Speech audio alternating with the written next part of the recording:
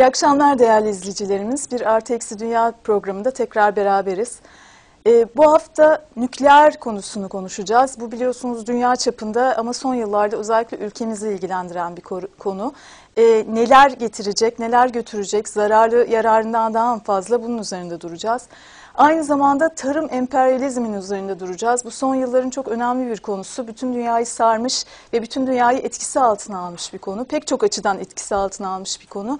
Bunu özellikle ülkemiz açısından değerlendireceğiz. Çünkü biz tarım ülkesiyiz. Tarım ülkesi olmamıza rağmen şu anda bazı eksikliklerle ve o emperyalizmin etkisi altında bazı zorluklarla karşı karşıyayız. Bunlardan bahsedeceğiz. Başlıyoruz.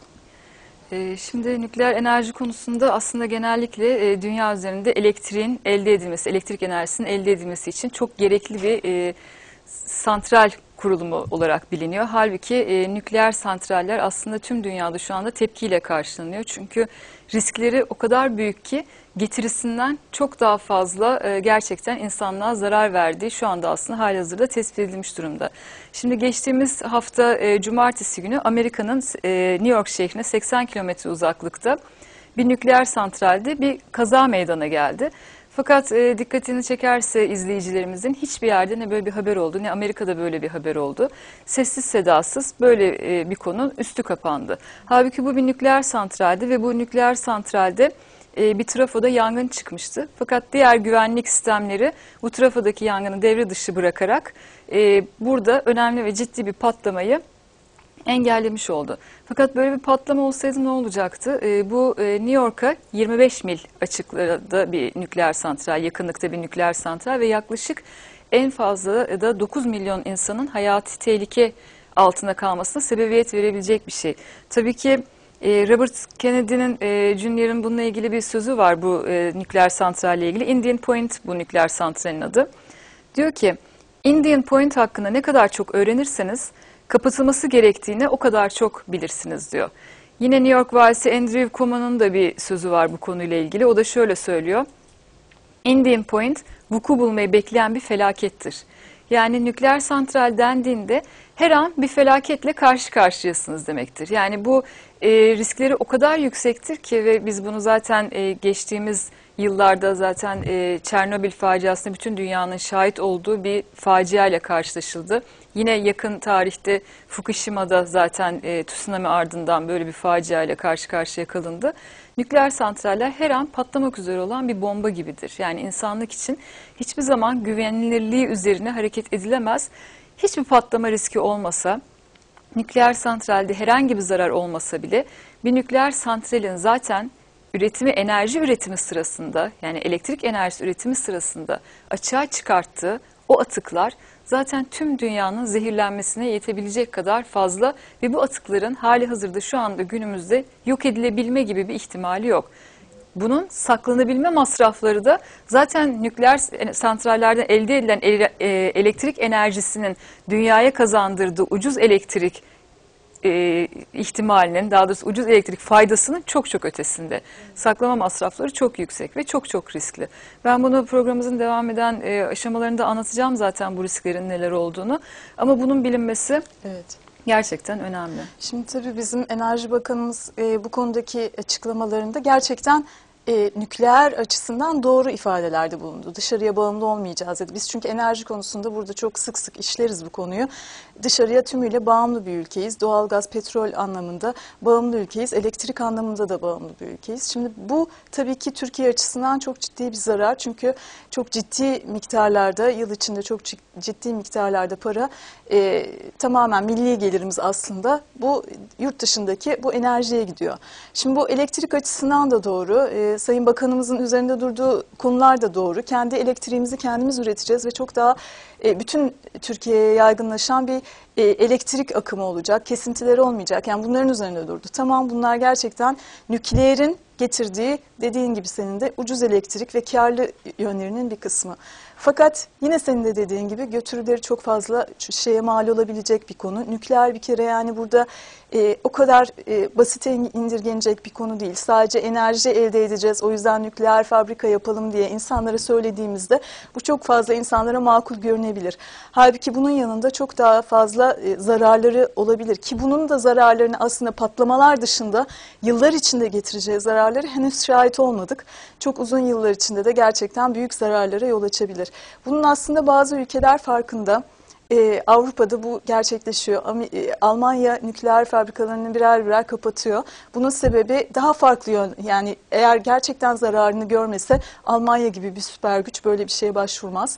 Ee, rüzgar enerjisinden faydalanıyor, atık enerjisinden faydalanıyor. Hep başka enerjilerin getirisinden faydalanmaya bakıyor. Bizim ülkemiz aynı zamanda çok farklı şekillerde de zengin bir ülke. Suyumuz var, Allah'a çok şükür. Kömürümüz var. Tabii ki kömür çıkarma konusunda da çok fazla... E, teknik yani teknolojiye ihtiyacımız var. Artık insanların e, kuyuların 400 metre de, derinine kadar girmesi gibi bir şeyin söz konusu olmaması gerekiyor bizim ülkemizde de. Bunda da bir atılım yapılması gerekiyor. Fakat enerjiyi bunlarla e, elde edebileceğimiz hem termik santrallerle hem diğer olanaklarla elde edebileceğimiz imkanımız var. Bunlar varken e, bu şekilde bir şey yani e, nükleer enerjiye dönük bir yapılanma ülkemiz için çok riskli olabilir. Bunun en büyük risklerinden bir tanesi de bu teknolojiyi biz yapmıyoruz kendi ülkemizde. Gelip Ruslar yapıyor, diğer ülkeler yapıyor.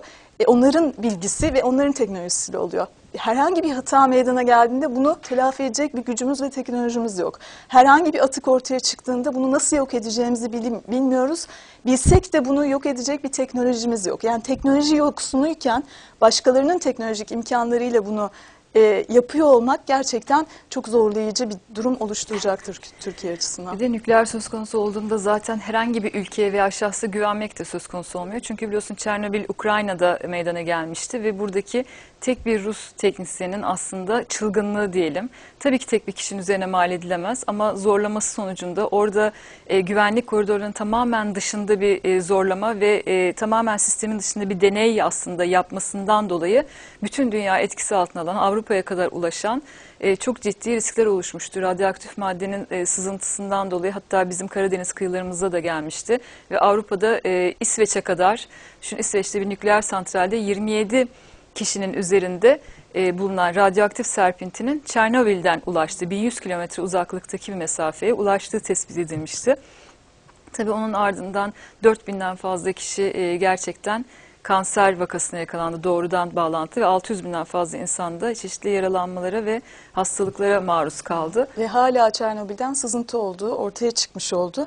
Yıllar geçmesine rağmen hala bu risk olduğu gibi Hatta duruyor. orman yangınları oldu geçtiğimiz günlerde biliyorsun yakınlarında Çernobil nükleer santralinin e, ve uzmanlar buradaki ağaçlara e, içine sızmış olan radyoaktif maddelerin daha sonradan bu yangınlarla birlikte yeniden havaya karıştığını ve risk e, teşkil ettiğini söylediler. Yani nükleer atık böyle bir şey yok olamıyor.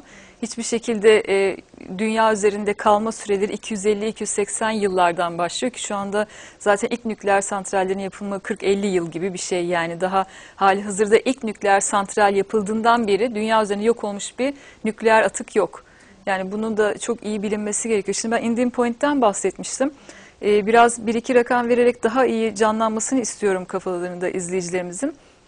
Santralin içerisinde dökümü yapılmış radyoaktif madde bin Hiroşima bombasına eşit. Yani böyle bir risk taşıyor santral. Düşün Amerika'da New York şehrinin hemen yakınında yaklaşık 20 milyon insanın yaşadığı bir bölgede içerisinde bin Hiroşima atom bombasına eş değer güçte radyoaktif madde barındıran bir nükleer santral ve 40 yıl boyunca harcanmış radyoaktif yakıt atığı bölgede depolandığı ulaşılan bilgiler arasında. Aynı zamanda Amerika'nın üçte birinin e, New York'taki nükleer santraller bütün Amerika'nın üçte bir elektrik enerjisini sağlıyor gerçekten. Fakat binlerce galon yakıtın da Hudson Nehri'ne aktığı ve sızdığı tespit ediliyor. Yani bir taraftan bir fayda var gibi görünüyor, bir taraftan da zararları çok açık. Şimdi sen Almanya'dan, Fransa'dan da bahsettin aslında. Almanya 2022 yılında tamamen nükleer santrallerini kapatacağını duyurdu. Fransa e, yeni nükleer santrallerin yapımını durdurdu, askıya aldı. Aynı şekilde İsviçre de bu şekilde ki Fransa Avrupa'nın en büyük nükleer enerji kullanıcısı ve yapımcısı aynı zamanda da ama dünyada da ikinci olmasına rağmen bu kararları aldılar. E, senin demin anlattığın yenilenebilir enerjilere yani işte rüzgar gibi, su gibi, kömür gibi bu tarz enerjilere yönelmeye başladılar diğer e, Avrupa ülkeleri de. Çünkü halkın da zaten tepkisi bu yönde. Bir numaralı nükleer enerji üreticisi Fransa'da halkın %55'i istemiyor nükleer enerji santrallerini. Aynı şekilde halkın %71'i de e, nükleer santrallerin kademeli olarak kapatılmasından yana. Yani halk zaten kendisi bunu istemezken herhangi bir baskıyla Sarkozy döneminde e, bir şey vardı. Fakat şu anda yeniden gerçekten e, buna durdurulması yönünde kararlar alındı. Şimdi ben kısaca nükleer enerji nasıl elde edilir onu e, anlatmak istiyorum. Bir nükleer santral kurmak için zenginleştirilmiş uranyuma ihtiyaç var ve uranyumun füzyon tepkimesine girerek ki bu ne demek? Uranyum atomunun zorlanarak parçalanması ve bu parçalanma sonucunda yani uranyum atomunun füzyon tepkimesine girmesi sonucunda çok yüksek miktarda enerji açığa çıkıyor. Ve bu e, reaktörün kalbini oluşturuyor aslında bu uranyum. E, ve daha sonradan da açığa çıkan bu ısı enerjisi suya veriliyor. Suya verildiğinde de yüksek derecede olan bu ısı suyu kızgın buhar haline dönüştürüyor. Su faz değiştiriyor, kızgın buhar haline dönüşüyor ve kızgın buhar haline dönüşen bu suyu oradaki elektrik jeneratörlerine bağlı olan buhar tribünlerine veriyorlar. Ve buhar tribünleri de bildiğiniz gibi onların üzerinde kanatlar var ve o yüksek enerjiyle birlikte o kanatları hareket ettiriyor ve o tribün milleri dönüyor ve bir elektrik enerjisi meydana gelmiş oluyor. Elektrik jeneratörlerine de aktarılarak sonra iletkenlerle gerekli yerlere bu elektrik iletiliyor. Şimdi e, çok basit olarak anlatılan bu sistemin içerisinde çok fazla sayıda atık meydana geliyor. Şimdi bu atıklar neler? Bunları bir sayalım. Sağlığa, insanın sağlığına zararlı olan maddeler, nükleer santraller. Birincisi plütonyum açığa çıkıyor. Çok yüksek miktarda ve üst düzeyde zehirli bir madde plütonyum ve kanser yapıcı bir madde. Doğada bulunma ömrü de 250 yıl. İkincisi stronsiyum. Bu da radyoaktif bir madde bilindiği gibi stronsiyum ve yağış yoluyla bitkileri oradan da e, bitkilerle beslenen hayvanlara ve hayvanların etleriyle de direkt insanlara ulaşan bir madde. Kan kanserine, lösemiye yol açıyor ve 280 yıl ömrü var doğadaki yok olma süresi 280 yıl. Sezyum ve iyottan da besin yoluyla insan vücuduna giriyor ve bunlar da tiroid bezi kanserine, çocuklarda büyüme aksaklıklarına ve genetik bozukluklara yol açıyor. Bunlar işte yok olmayan maddeler ve bu maddelerin yani bu atıkların daha doğrusu nükleer enerji santrallerinde elektrik üretimi sırasında açığa çıkmaması diye bir şey söz konusu olmuyor. Ve bunlar açığa çıktığında işte asıl yüksek masraflar bu atıkları barındırma ve saklama ve insanlığa zararını önleme ile ilgili ve işte bunun içinde çok çok yüksek maliyetler gerekiyor. Bir taraftan 1 liraya elektrik üretirken orada belki 1000 liraya o atığı saklamanız gerekiyor. O zaman zaten kıyas bile yapılabilecek gibi değil ki zaten masraflar bir kenara insan hayatı çok daha önemli. E, bu konuda hocamız şunu söylemişti. E, herhangi bir kişi, buna taraftar olan herhangi bir, şey, bir kişi evinin yakınında böyle bir nükleer santralin olmasını ister mi? Bu önemli bir ölçüdür. Hiç kimse istemez. E, cep telefonları fazları bile insanları çok rahatsız ediyor günümüzde. Çünkü gerçekten radyoaktif şeyleri konusunda bilinçli halkımız. E, bütün dünya bilinçli aslında. İşte bunu istemediklerine göre gerçekten burada çok ciddi bir sorun var. Başka bir şey eklemeyeceksen ben tarım konusuna dönmek istiyorum. E, bu konuda hocamızın e, geçenlerde Arap News gazetesinde çıkan çok önemli bir yazısı vardı. Tarım emperyalizmi ve Afrika'yı anlatıyordu hocamız. Çok önemli bir yazıydı gerçekten. Pek çok konuda da şuur açıcı bir yazıydı. Şimdi e, burada e, orada dikkat çeken şey şuydu. Avrupa, Amerika, Çin gibi bazı ülkelerin e, başını çektiği bir tarım emperyalizmi oluşmuş durumda. Emperyalizm biliyorsun çok çeşitli yani sömürü, sömürülen devletler üzerinde çok çeşitli şekillerde oluşuyor ama tarım birkaç yıl e, birkaç yıl önce keşfedilen bir şey. E, çünkü e, şöyle bir bulguyla karşılaşmışlar. Birleşmiş Milletler Gıda ve Tarım Örgütü ve OECD raporlarına göre önümüzdeki 10 yıl içinde gıda fiyatlarında %40'a varan artış görülecek ve buna bağlı olarak da bir e, dünya bir krizin, gıda krizinin içine girecek. Özellikle kendi tarım alanlarını tüketmiş olan Çin gibi ülkeler için de bu çok ciddi bir e, risk e, o, görünüyor. İşte bu yüzden de Afrika'dan toprak kiralama yoluna gitmişler. Şimdi e, bir kısmını satın alıyorlar, bir kısmını kiralıyorlar. Fakat bu kiralama olayları genelde hep 90 yıllık, 95 yıllık falan böyle uzun vadeli kiralamalar oluyor. E, şöyle rakamlar vereyim. E, mesela İngiltere'nin kiraladığı toprak miktarı Danimarka'nın yüz ölçümüne ulaşıyor. Afrika'da kiraladığı Evet çok yüksek. Amerika, İsviçre ve Çin Moldova büyüklüğünde tarım ara arazisi satın almış ve kiralamış. Afrika'nın en geri kalmış ülkelerinden Kongo topraklarının 8.1 milyonunu, Endonezya 7.1 milyonunu gördüğün gibi Güneydoğu Asya'ya da sıçramış durumda. Filipinler 5.2 milyonunu, Sudan 4.7 milyonunu kiraya vermiş veya satmış. Aslında kiralayan ülkeler arasında Türkiye de var. Tabii ki Türkiye'nin politikası diğerlerinden farklı olur. Umarız o şekilde olur. Ama tabii yani Türkiye'nin toprak kiralamaya ihtiyacı var mıydı? Bunu birazdan konuşacağız. Hiçbir şekilde ihtiyacı olmayan bir ülke aslında. E, fakat diğer ülkeler için bakıldığında önce Afrika'ya gerçekten gelir getiren bir şey gibi gözükebilir bu olay ilk bakışta. Çünkü çiftçi orada kendi teknolojisi yok. E, toprağını sürse de satamıyor. Üretim elde etse de hiçbir şey yapamıyor. Fakat bu işte dışarıdan başka ülkeler gelip onun toprağını onun adına kiralayarak gelir elde ediyorlar ya da ürün elde ediyorlar. E, ilk bakışta Afrika'ya faydalı bir sistem olarak görülebilir. Gerçekten de ilk başta böyle zannetmişler. E, zannetmişler ki teknoloji öğrenecek Afrika halkı, pazarda satabilecek ürettiği ürünü. O şekilde bir şey olacak. Fakat o şekilde olmamış. Bu topraklar sadece yine Batı ülkelerine hizmet eden topraklar haline gelmiş zaman içinde. Ve oradan e, alınan gelir tümüyle ithalata ayrılmış. O ithalat sadece Avrupalı ülkeleri zengin etmiş. E, orada o ülkelerde pazara sürülen mallar da oranın çiftçileriyle rekabet edemeyecek kadar genetiği değiştirilmiş tohum olduğu için şimdi bundan bahsedeceğiz. Çok ciddi e, bir rekabet ortamı oluşturmuş. Çiftçi kendisininkini satamamış ama Batı ülkelerinin e, o tohumlarla ürettiği ürünler daha fazla satılır hale gelmiş. Dolayısıyla aç Afrika halkı hala aç. Zengin Afrikalılar zenginleşiyor. E, zengin Batı daha da zenginleşiyor. Yani sistem bu şekilde işliyor Tabii, şu anda. Aslında Afrika'da açlığın, kıtlığın en çok olduğu ülkelerden bir tanesi Etiyopya'dır bilindiği gibi. Halbuki Etiyopya'ya baktığımızda hektarlarca genişlikte mısır ve tahıl ekili alanlara rastlıyoruz. Böyle yemyeşil alanlar, tarım alanları ve hektarlarca genişlikte. Yani normalde Etiyopya halkının e, gıda masraflarını yani gıda ihtiyacını kat kat fazlasıyla karşılayabilecek durumda. Ama baktığımızda bir görüyoruz ki bunların hiçbiri Etiyopya halkına ait değil. Bunların tamamı dışarıdan gelen yabancı yatırımcıların sahip olduğu topraklar ve kendi ekim alanları olarak görülüyor.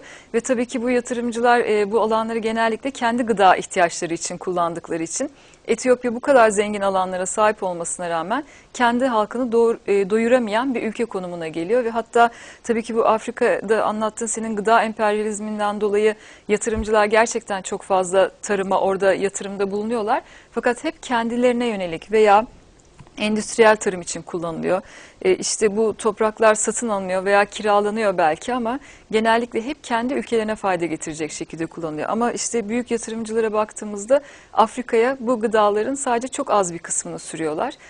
Bunlar da zaten e, demin e, de üzerinde durduğun gibi Afrika halkının zaten çok az fiyatlarla satış yapabildiği, kendi üretebildikleri gıda ürünleriyle rekabete girdiğinde zaten bir yandan oradan da çöküşe uğruyorlar. Yani hiçbir şekilde onlarla e, bir kıyas, bir rekabet içerisine giremiyorlar ve sonuçta yine bu kıtlık şeklinde, açlık şeklinde aslında Afrika halkının üzerine dönmüş oluyor. Ve bu sırf Afrika'da olan bir şey değil yani ne acıdır ki biz tabii ki bunu o kadar e, belki insanlar üzerinde durmuyor ama e, ülkemizde de çok ciddi bir tehlike olarak aslında var bu. Çünkü gıda ile ilgili olarak Türkiye'de biz e, Hollanda'da baktığımızda aslında bunu ciddi olarak şu anda siyasilerimiz de sık sık örnek veriyorlar. Hollanda çünkü Konya büyüklüğünde bir ülke olarak söylüyorlar. Fakat bu devlet 112 milyar dolar tarım ve gıda ürünü ihraç ediyor. Düşün küçücük Konya ilimiz kadar bir ülke 112 milyar dolar gıda ve tarım ürünü ihraç ediyor. Türkiye'ye baktığımızda Konya Türkiye'nin sadece bir ili, koskoca ülkemiz Türkiye ve bir tarım ülkesidir aslında Türkiye. 14 milyar sadece ihraç evet. tarım konusunda. Şimdi e, bu konu çok önemli bir konu gerçekten. E, Afrika'dan yola çıkarak ben e, ona dikkat çekmek istiyorum. Afrika'ya genelde gönderilen bu tarım emperyalizminin en önemli halkası genetiği değiştirilmiş tohumlardır. Bu gerçekten e, batılı ülkelerin geliştirdiği ve firmaları zengin eden bir sistem olarak e, gelişiyor ve aslında Afrika halkının rekabet edememesinin teknoloji ve diğer vesaire diğer konular dışında en önemli sebeplerinden bir tanesi bu tek yıl ekilen tohumların e, bir üründen mesela 3-4 kere bir yıl içinde ürün vermesi ve bu ürünlerin defalarca pazara sürülebilmesinden kaynaklanıyor. İşte bu tarım emperyalizmi nedeniyle çiftçiler kendi tohumlarını saklayamıyorlar. Hatta Gana gibi ülkelerde bunu kanunen de yasaklamışlar. Çiftçi kendi oraya ait tohumunu saklayamıyor. Ama e, Avrupa'dan getirtilen bu genetiği değiştirilmiş tohumları ekmek mecburiyetinde bırakılıyorlar ve her yılda yeni bir tohum ekiliyor. Şimdi tarım emperyalizminin en önemli halkası budur. Aynı emperyalist sisteme biz de dahiliz. E, bu konuda gerçekten yaptığı çalışmalar için Sayın Cem Seymen'e de çok teşekkür etmek istiyorum. Onun e, yaptığı araştırmalardan da çok faydalandık. Dikkat çekiyor bu önemli konuya. Çünkü genetiği değiştirilmiş tohumlar şu anda bizim köylümüz, bizim çiftçimiz için de çok ciddi bir risk. E, bir karpuz günde e, yılda 3 defa 4 defa ürün verebiliyor bu tabii ki e, tohumlarla. Fakat her yıl biz bu tohumları ithal ediyoruz, yeniden ithal ediyoruz. Ama dediğim gibi çok önemli bir tarım ülkesi Türkiye. Şimdi Türkiye tarımla yaşayan bir ülke. Türkiye tamamen yatırımını tarıma yapması gereken bir ülke.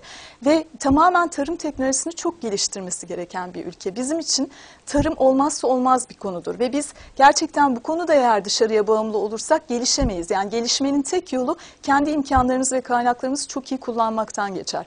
Ama bunları bir kenara atıp tarım alanlarını yok edip bunu e, işte görmezden gelirsek çok ciddi bir şekilde küçülme sürecine gideriz ki Türkiye için önemli olan budur. Bu risk budur. Şimdi e, Türkiye'nin geneline şöyle bir baktığımızda Türkiye yurt dışında yani kendi komşularını şöyle göz önüne alalım. Gerçekten çok ciddi bir ticari kaybı var. Yani bu elbette oluyor çünkü etrafımızda her yerde savaş var. E, fakat bizim küçülmemizi gerektirmez bu durum. Biz tarımla büyüyebilen bir ülkeyiz. Şimdi Hollanda'ya örnek verdim. Ben bu konuda e, e, genel olarak Hollanda hep verilen bir örnek. Çünkü Avrupa'da gerçekten tarım anlamında parlayan yıldız şeklinde ortaya çıktı. Dediğin gibi Konya kadar, Türkiye'nin 19'da biri kadar. Tabii e, bu kadar küçük bir ülkenin Amerika ile rekabet ediyor olması da dikkat çekici muazzamdır. oluyor. Yani çünkü çok akılcı bir politika yürüttü. Köylüsüne önem verdi. Tarım alanlarına çok önem verdi. Tarım alanlarını genişletti. Polder denen denizden yataklar oluşturdu. Biliyorsun orası alçak bir ülkedir ve deniz seviyesini tarım alanlarıyla yani toprakla doldurarak setler çekerek burada üretim yapmaya başladı. Tarım üretimi yapmaya başladı. Bak kendi toprağı yetmediği için toprak elde edip orada tarıma devam yani tarımın oradaki önemini anlamak için çok önemli.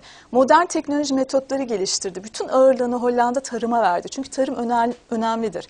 Tarım yok olup gitmez. Mesela bir e, ekonomik kriz durumunda tarıma verdiğiniz önemde siz yine kalkınırsınız. Önemlidir. Yani mutlaka size kar getiren bir sektördür tarım. Ve biz o kadar e, kısmetli bir ülkeyiz ki her tarafımızda, her toprağımızda hem de sıcağa dayanıklı veya başka türlü ürünlerin yetişebilmesine olanak veren toprağımız var. Çok değerli bir toprağımız var. Bu çok önemli. Dört mevsim yaşanıyor bile bir kere bu da çok önemli. Çiftçilerin eğitimi için para harcadı, kooperatif sistemleri için para harcadı. Tarımda verimin artırılması ve teknolojinin gelişmesi için e, para harcadı Hollanda. Tamamen topraksız tarıma bile para harcadı. Yani tarım üzerine yoğunlaştı. Şu an Avrupa'nın birinci tarım üreticisi ve ithal, e, ihracatçısı. Şimdi Türkiye'ye baktığımızda biz bir tarım ülkesiyiz. Fakat tarıma verilen önem çok çok az e, tarım teknolojisine verilen, tohum teknolojisine verilen önem de çok fazla e, miktarda değil. Gübre teknolojisi çok önemli bir teknolojidir. Bu her çiftçi için çok gereklidir. Bu da çok az. Çiftçi ve köylünün korunması anlamında verilen bu etkiler, yani tabii ki burada şunu e, göz ardı etmemek gerekiyor. Elbette AK Parti hükümetinin yaptığı çok önemli yenilikler de var. Bu konuda farkındalık için yaptığı şeyler de var. Fakat göz göre göre tarım alanlarımızın yok olması da öyle hani e, söyleyip geçemeyeceğimiz bir konu. Çünkü tarım alanlarının imara açılması demek zaten katkı alamayan bir çiftçinin, bir köylünün zaten e, e, tamam toprağımı satayım, üstüne ev yapılsın, kira alayım diye düşünmesine e, yol açıyor. Bu da o kadar değerli tarım alanlarımızın yok olup gitmesine sebep oluyor. Şimdi e, Türkiye ile ilgili ben de birkaç rakam vermek istiyorum. Türkiye'nin 77.9 milyon hektar olan toprak varlığı var ve bunun 26.3 milyon hektarı tarım arazilerinden oluşuyor. Fakat e, baktığımızda son 10 yıl içerisinde iki Trakya büyüklüğünde alan ekilmiyor. Yani e, tarıma son verilmiş. Bunların sebepleri var tabii ki. Fakat e, bu şekilde tarıma son verilen alanlar varken diğer yönden baktığımızda 12 yıl içerisinde Türkiye tarım ve gıda ithalatına ödediğimiz para 350 milyar lira. Bizim yeni ihraç parayla. etmemiz gerekirken yani ihraç, ihraç etmemiz gerekirken yurt gerekirken, dışından e, ithal edilen tarım ve gıda ile ilgili ürünlere ödediğimiz para 350 milyar lira. Yani eski parayla 350 katrilyon olmuş oluyor. Ve e, sadece 2014 yılında 44 milyar lira yurt dışından ithal edilen ürünlerin değeri ki Türkiye e, hem kalabalık bir ülke hem tarım alanları demin de söylediğimiz gibi çok çok geniş olan bir ülke. Sulak bir ülke yani gerçekten sulamaya çok müsait bir ülke. Tarım alanlarına çok iyi bakılabilecek bir ülke. Fakat ne oluyor? Genellikle Türkiye'de baktığımızda her dört kişiden biri aslında tarım sektöründe çalışırken çiftçi üretemiyor. Çünkü senin bu şimdi söylediğin ithal tohum konusunda yapılan bazı dayatmalar oluyor. Yani sadece ithal tohum getirip de çiftçi kendisi serbest veya köylümüz kendisi serbest o tohumu ekemiyor. Belirli ürünler dayatılıyor. Şimdi ürün çeşitliliği o kadar aslında büyük bir nimettir ki belki hiç düşünmemiştir e, birçok kişi ama bir alana çeşitli ürünler ekildiği zaman o ürünler birbirine Allah öyle bir sistem içerisinde yaratmıştır ki birbirinin zararlılarını da ortadan kaldırmaya vesile olur. Mesela işte bir yere e, siz karpuzu ekersiniz, buğdayı ekersiniz, işte ayçiçeği ekersiniz. Bunların çeşitli faydaları vardır birbirlerine ve bu şekilde bir zenginlik elde edilir. Ama tek tip ürün dayatımı olduğunda mesela kilometrelerce alan ayçiçek tarlaları veya işte kilometrelerce alan sadece buğday. Bu şekilde olduğunda bu sefer çiftçiler ve köylüler biz bunları televizyonlardaki bilgileri de rastlıyoruz veya okuduğumuz şeylerden de görüyoruz. Hayatımızda diyorlar e, Erzincan'dan bir e, tanıdık e, söylemiş bunu arkadaşlarımıza aktarmış. Hiç görmediğimiz hayvan türleri türemeye başladı. Çünkü tabii ki e, aynı zamanda mesela çok değişik bir çekirge türü hayvan buğdaya zarar veren hiç bilmedikleri ve nasıl yok edeceklerini bilmedikleri. Tabii ki tek tip e, tohum dayatılması yapıldığında aynı zamanda çok yoğun ve şiddetli ilaçlama dayatılması da yapılıyor. Yani bu ilaçlama ile birlikte zaten ürün de aslında zarar görüyor. Ama etrafta da o Allah'ın ekolojik dengeyle birlikte yarattığı ve doğada birbirine faydası olabilecek olan birçok sistem bozulmuş oluyor aslında. Bu arada bu böcek ilaçlamaları insan sindirim sisteminde de parçalanamıyor bir kısmı. Aynı zamanda toprağa geçiyor. Toprağa geçiyor ve yüzyıllarca toprakta kalıyor. Artık orada yeniden üretilen ürünün ne halde olduğunu ve ne, ne kadar zehir taşıdığını da burada düşünmek bile istemiyor insan. Tabii şimdi böyle olunca da e, çiftçi üretemeyince bu sefer mecburen ithal ediyoruz. Yurt dışından getiriyoruz. Bu sefer yurt dışından getirdiğimiz e, o firmalardaki ürünlerin e, Türkiye içerisindeki diğer ürünlere yani yerel ürünlere rakip olabilecek bir konum olmuş oluyor. Bu sefer fiyat düşürmek gerekiyor. Fiyat düşürünce o gerektiği gibi kazanamıyor. Bu sefer e, sanayiye daha çok ağırlık vermeye çalışıyor. Mesela bir çiftçi kendi tarlası için e, traktör alımı yapıyor mesela bu sefer. O traktörün fiyatını ödemeye çalışıyor. Yani işçiler çünkü bölgelerden şehre doğru göç ediyorlar. Bu en önemli zaten şeylerden bir tanesidir. Tarım sektöründeki sorunlardan en önemlilerinden bir tanesi. Ama bu da neden onu da Göç. düşünelim. Ee, çiftçiye gereken önem verilse, çiftçiye gereken katkı verilse, gereken teknoloji verilse hiçbiri bunu yapmaya ihtiyaç duymaz. Tabii kendi başına bakmak durumunda olduğu için bu sefer ailesine bakmak durumunda olduğunu da düşünüyor. Bu sefer kendi mallarının değeri düşüyor çünkü yurt dışından gelen mallarla rekabete girdiği için. Bu sefer e, maliyetini karşılayamıyor. Maliyetini karşılayamayınca tamamen bırakıyor. Tarlaları e, tamamen bu sefer onlar da şehre göç etmek durumunda kalıyorlar. Bunun gibi mesela düşük verimlilik, tarım sektörümüzdeki sorunlar, Üretim ve gelir nedeniyle kendini geliştirecek yatırımların yapılamaması. Bunu sağlayabilecek olan devlettir. Ee, her konuda yardımcı olarak hem çiftçiye hem köylüye. Yüksek oranlı gizli işsizlik aslında. Çünkü iş yapabilecek olan kişi kalmamış köylerimizde. Ee, bu sefer ne oluyor? Mesela tabii ki çok güzel yollar yapıyoruz. Ee, bu yollarla birlikte ama yolların etrafına bu sefer imar izinleri veriliyor. O imar izinleriyle birlikte tabii ki mecburen etrafındaki civarındaki tarla alanları, yani ekim alanları yok edilmek durumunda kalıyor. Ve böylece hepsi birbirine e, bağlantılı olarak o onu yok ediyor, o onu yok ediyor. Ama sonuçta ülkemizin ekonomisine ciddi darbe vuran bir sistem gelişmiş oluyor. Bu çok üstünde durulan bir konu değildir aslında. Ama e, bunun gerçekten farkında olmak gerekiyor. Ee, yine Cem Sem'in verdiği bir bilgi, önemli ve ilgimi çeken bir bilgi gerçekten. Anadolu'daki tarım toprağının bir santiminin oluşması için bin yıl geçmesi gerekiyormuş. O kadar değerli ve önemli bir toprak. Bu öyle her yerde bulamayacağımız bir toprak. Şimdi e, burada tekrar söylemek istiyorum. Bazı açılımlar ve atılımlar elbette tarım sektöründe yapıldı. Fakat bizimki gibi tarım ülkesinde bunlar yeterli değil. Şimdi bizim mesela Tarım Bakanlığı'nın ben görüyorum e, bazı spot e, yayınları oluyor. E, bu yayınlarda işte tarım arazileri yok edilmiş, üstüne imar gelmiş, hava kararmış yani hep bunu veriyorlar. Belki aydınlatıcı olabilir ama bunu önleyecek olan devlettir. Bunu bu şekilde zihin aydınlatıcı şeyler yetmiyor halka. Yani halk kendi toprağını satıp oradan işte bir gelir elde etmeyi şu an daha kolay buluyor. Çünkü yeterli e, verimi yani devletten yeterli verim alamamış. Şimdi bizim ülke olarak e, çok ciddi bir sorumluluğumuz var. Biz elbette pek çok konuda gerçekten dışarıya bağımlı bir ülkeyiz. Mecburen de bazı şeyleri yapıyor olabiliriz. Fakat tarım bizim için hayatidir. Tarımı ayakta tutmak için hükümetin ve devletin yapması gereken mecburi şeyler var. Mesela tarım alanlarını özel koruma altına almak bunlardan biridir. İmara açıp aman sen toprağını satma demekle olmaz bu iş. Yani oraların imara açılmaması, özel olarak sa- sabit şekilde tutulması gerekiyor. İmari açılan alanlar olsa bile dediğin gibi tarım alanlarının muhakkak koruma altına Muhafaza, alınarak bunun evet. yapılması gerekiyor. Bunun mutlaka yapılması gerekiyor. Biz genç bir ülkeyiz. Bizim iş yüzde on işsizlik var ülkemizde. Tarım alanlarında çalışacak insanların istihdamı sağlanması gerekiyor ki şu anda bizim elimizde aslında Suriyeli mülteciler var 2 milyon. Onların yaşadıkları yerlerde de bu hatta yeni yapılan e, bir tane e, mü- mülteci kampımızda bu gerçekten gerçekleştirilmiş. Genel olarak o alanlarda tarıma, hepsini tarıma yöneltecek, hayvancılığa yöneltilecek bir sistemin oluşturulması gerekiyor.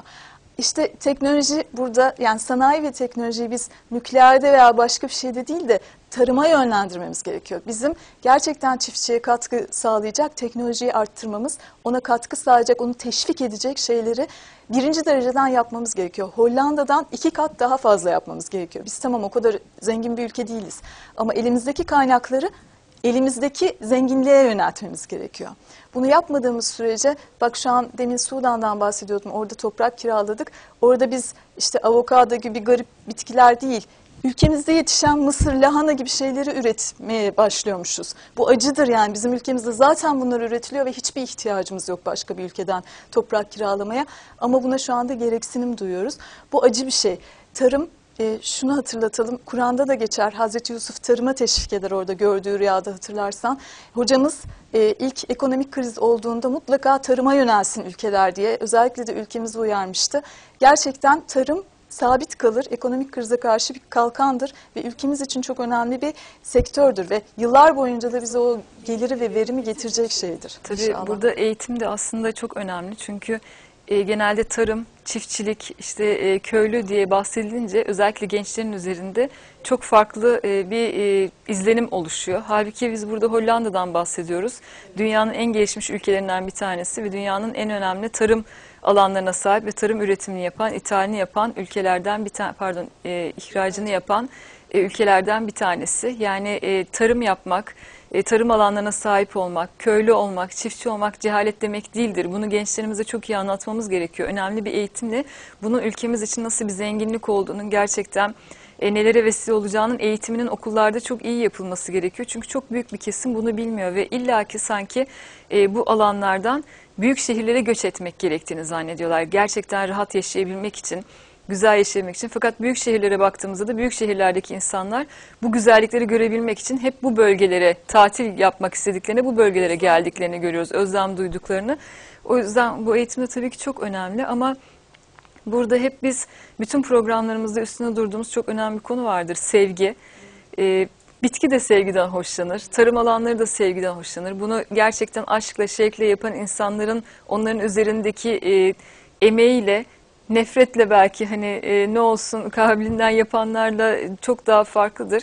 Hem insanlara sevgi, canlılara sevgi, bitkilere sevgi, vatana sevgi, dünyaya sevgi ve dünya insanlarına sevgi ve sevgi öğretmeninin de gerçekten eğitimiyle aslında bakacağız ki biz Hazreti Mehdi Aleyhisselam döneminde tarım alanlarını da en verimli şekilde kullanılacak. Çünkü insanlar e, para verilecek insanlara, insanlara yiyecek verilecek, mal verilecek. İnsanlar o kadar tok olacaklar, o kadar çok şeye sahip olacaklar ki geri verecekler. İhtiyaçları olmayacak çünkü. Ama şu anda günümüzde siz ne kadar çok tok da olsa, ne kadar çok malı da olsa o insanlara para verseniz daha yok mu derler. İşte bu egoistlik, bu bencillik Hazreti Mehdi Aleyhisselam zamanında ortadan kalkacak ve bütün dünya inşallah tarım alanında da olsun. Bu diğer risklerde de insanlar üzerindeki nükleer enerji gibi inşallah bütün bu tarz yerlerde hiç ihtiyaç kalmayacak şekilde tarihe gömülecek bir güzelliği oluşacak, İnşallah. kavuşacak dünya inşallah. Bu akşamki yanımız burada sona eriyor. Haftaya tekrar görüşmek üzere. Hoşçakalın. Hoşçakalın.